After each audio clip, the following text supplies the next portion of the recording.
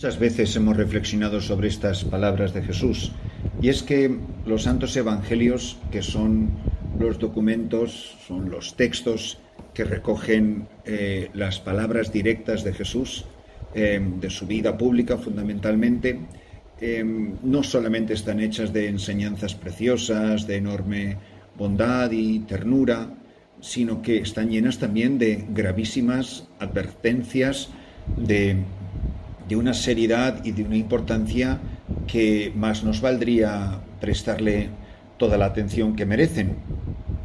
Y muchas veces nos quedamos con una imagen de Jesús muy edulcorada, de una ternura ñoña, infantil, infantil y ser como niños es completamente diferente, aprovecho a decir. Muchas veces muy, muy de sacarina, muy de sirope de manzana, y la verdad que eh, nada más lejos que de la personalidad y de la enseñanza de nuestro Señor Jesucristo. Es el caso del texto de hoy que sigue inmediatamente al de ayer, Lucas 10, 13, son apenas tres versículos. En aquel tiempo dijo Jesús, Ay de ti, Corozaín, ay de ti, Betsaida, si en Tiro y en Sidón se hubieran hecho los milagros que en vosotras, hace tiempo que se habrían convertido vestidas de sayal y sentadas en la ceniza. Por eso, el juicio les será más llevadero a Tiro y a Sidón que a vosotras. Y tú, Cafarnaún, piensas escalar el cielo, bajarás al infierno. Quien a vosotros os escucha, a mí me escucha. Quien a vosotros os rechaza, a mí me rechaza. Y quien me rechaza a mí, rechaza al que me ha enviado. La palabra de Dios que hoy se proclama tiene que ser una sacudida de conciencia, una llamada poderosa al corazón, una invitación a volver la vista atrás, para descubrir la cantidad de veces que Jesús ha llamado a la puerta de mi corazón, a las puertas de mi conciencia, las veces que me ha advertido de los peligros, las veces que me ha querido enderezar cuando yo torcía el sendero, cuando elegía la oscuridad en vez de la luz, elegía el mal en vez del bien, la muerte en vez de la vida. Mirad, Jesús está poniendo ejemplos muy concretos que nosotros seguro que sabremos aplicar a nuestra propia vida sin la menor dificultad. Habla de dos ciudades, Corozaín y Betsaida, también de Tiro y de Sión, si en Tiro y en Sidón se hubieran hecho los milagros que en Corozaín y Betsaida hace tiempo que se habrían convertido. Pensad en vuestra vida, que todos pensemos en nuestra propia vida. ¿Cuántas maravillas ha hecho Dios con nosotros? ¿Cómo nos ha cuidado? Me atrevo a decir, y perdón por la cursilería, cómo nos ha mimado. Cuántas gracias, cuántos dones, cuántas personas maravillosas cuánta palabra de Dios, tantas misas, tantos rosarios, tanta oración, tantos retiros, tanta formación. Pertenecemos a un grupo, muchos de nosotros, pertenecemos a un grupo tan selecto de personas en el conjunto de la humanidad que somos una élite de una élite. En la vastísima mayoría de las personas que nacen, viven y mueren sobre la faz de la tierra, la inmensísima mayoría nunca ha recibido ni remotamente todas las gracias que se nos han dado a nosotros, todos los milagros que Dios ha hecho en nuestra vida. Y todavía no nos hemos convertido. Todavía no nos acabamos de decidir, a tomarnos en serio la llamada a la santidad. Todavía andamos con, con regateos, con, con el ser generosos con el Señor y dar lo mejor de nosotros mismos y de dejarnos de mediocridades y de, y de tacañerías. Hace tiempo que mucha gente hubiera, si hubiese decidido, pero con la enésima parte de lo que nos han dado, a ser santos. Hay gente que vive vidas admirables, de grandísima santidad, con muy, muy poquito.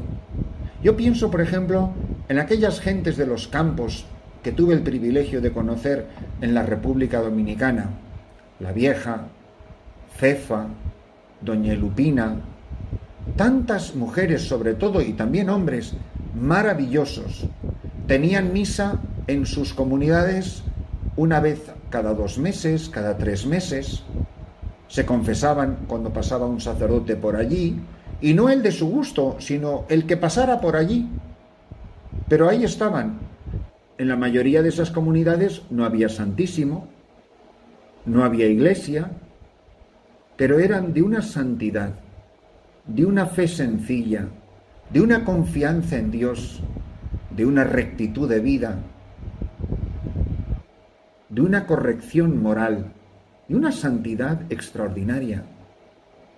Casi todas las que he mencionado ya se han ido con el Señor. Estarán en el cielo seguro. Nunca fueron ejercicios espirituales, no tenían sagrario a la vuelta de la esquina, no les dieron formación en teología, no pasaron por sus comunidades santísimos y maravillosos sacerdotes uno tras otro, no tuvieron el supermercado de vida espiritual que tenemos la mayoría de nosotros. Nunca peregrinaron a Lourdes, ni a Medjugorje, ni a Fátima. No, no, todos esos lujos espirituales. Imaginaros si hubieran ido doña Lupina a Tierra Santa, cuando nunca había salido de Paña Paña, o el Coco, o el Manguito. Pienso en las comunidades de aquí, las que he estado visitando hoy. Gracias a que yo estoy aquí, es la primera vez en la historia desde que llegó el cristianismo aquí, que estas comunidades, quitando las parroquias, que tienen misa todos los días o semanalmente, tienen ahora misa mensualmente. Pero cuando yo llegué aquí, aquí había capillas que hacía tres y cuatro años que no habían tenido la Santa Misa. Y veo los catequistas, cómo se esfuerzan, cómo luchan, cómo enseñan la fe, cómo viven en santidad. Veo las cuentas desgastadas de sus rosarios, que con tanto orgullo, sano orgullo y satisfacción llevan al cuello, que alguna vez se han atrevido humildemente a pedirme si les podía conseguir una estampita o un cuadrito de la Virgen, un cuadrito de cartón, un pequeño póster de la Virgen o de San José para poner en sus capillas de hierba, que fabrican cruces con dos tablas y tienen tanta santidad en el alma y que cuando mueran cantarán coros celestiales y les llevarán en volandas al cielo, porque con lo poquito, poquito que recibieron, todas las veces que voy, cuando termino la Santa Misa y antes del canto final y dan sus pequeños avisos, lo primero que siempre dicen, muchísimas gracias, Padre,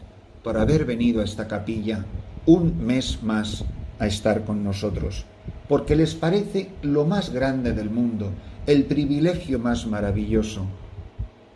Ay de ti, Corozaín, ay de ti, Betsaida, ay de todos nosotros que hemos recibido tanto, que se nos ha regalado tanto, sin merecer nada, y que tanto hemos desperdiciado, que tanto hemos malgastado que somos un cubo agujereado, que por más agua limpia que el Señor derrama dentro, todo se nos va derramando por fuera.